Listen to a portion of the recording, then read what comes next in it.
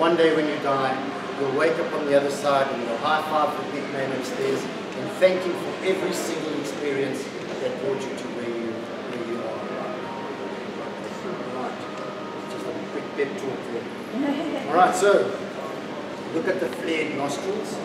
This is fiercely independent. Now, my wife and I both have flared nostrils. We're both fiercely independent. 28 years of ups and downs of fighting. We clash power and authority and on, on just if we pick, if we want to move a table to from here to there and it needs to turn, she'll go one way, I'll go the other.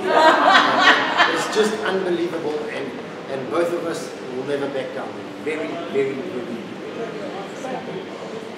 Yes. we struggle with a lot of things and they balance out beautifully with the other good stuff that I'm not going to make you blush.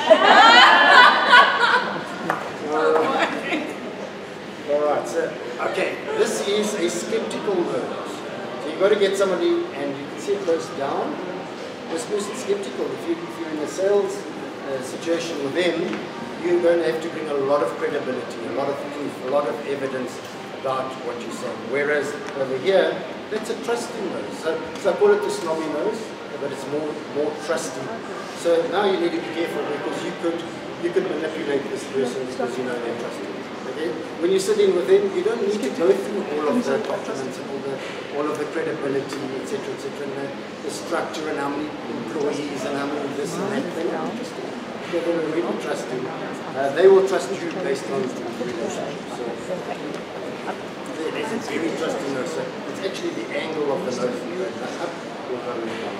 Stephen, I just want to ask you, Yes. between different sort of cultures and that, you know, your Jewish and Roman noses those, Yes.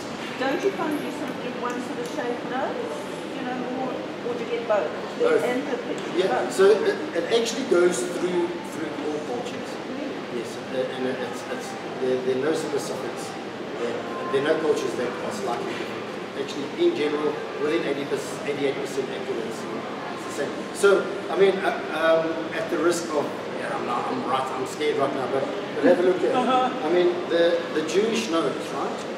Yeah, the concave nose is, is it's the money nose, right? And, and in general, Jewish people are very focused on money. There's no right and wrong. Right? And then you have the service nose. If you if you can get a look at mine, I've got the ski slope nose. Right? So I'm I'm around service, and these people that more convex is around money.